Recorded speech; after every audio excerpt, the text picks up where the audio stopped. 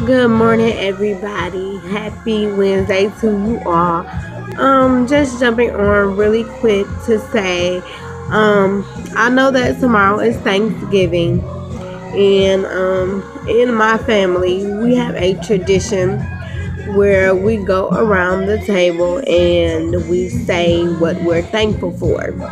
So, I am going to encourage you all to use this day, the next day, and the rest of your lives to always say what you're thankful for, no matter no matter what it is. You always should have a spirit of thanksgiving on your heart because tomorrow it's not promised. I love you all. I appreciate you all so much, and I am thankful for you all. And I pray that you and your families have a blessed and wonderful Thanksgiving.